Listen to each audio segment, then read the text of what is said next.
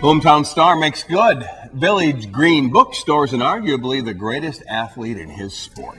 Those are the headlines this very week and decades past on Rochester's first TV station. Here's News 8 Now's Dave McKinley with News 8 Then. Ten years ago this week, a lot of firsts. The E-ZPass system went into effect for the first time on the New York State Thruway. Greece Athena grad John Wallace was selected in the first round of the NBA draft by the Knicks. Monroe County held its first ever Take Your Son to Work Day and first proposed ban on smoking in restaurants this week in 1996. 20 years ago this week, views on smoking were much more relaxed. Say, for instance, you fell down the Genesee River Gorge. As this young lady did, why, you could casually light up while your rescuers tended to your needs, perhaps even if they had portable oxygen nearby. Meanwhile, it's going to be one of those shows. As the original Rochester Top Race 7 made it onto the national stage, minivans began proliferating on the nation's highways, and there were new advances in technology. Holograms with part of the card number printed over them are now being used. They are very difficult to duplicate. Village Green bookstores were still all the rage, and the Supreme Court upheld a state's right to make consensual sodomy among adults illegal.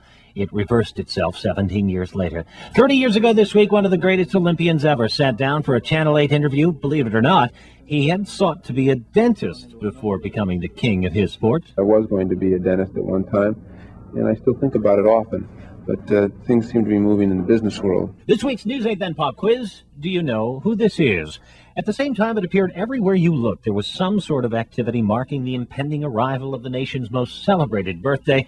Here, Off Track Betting capitalizes on the commercialization of the bicentennial by rolling out its bicentennial Betmobile this week in 1976. Holy trifecta, Cape Crusader.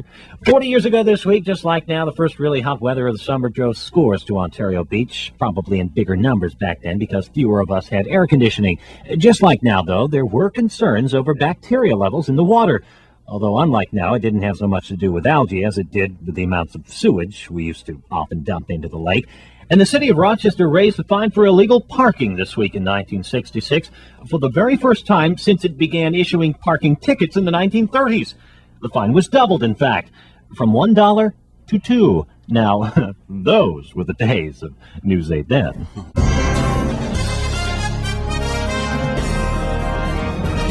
Okay, here's the answer to this week's News 8 Then Pop Quiz about one of the greatest Olympians of all time who chatted with us 30 years ago this week. Of course, swimming superstar Mark Spitz is that handsome man there. At the time of this Channel 8 interview, Spitz, just four years removed from his record setting performance at the Olympic Games in Munich, where he won seven gold medals and certainly cemented his reputation as probably the greatest swimmer of all time.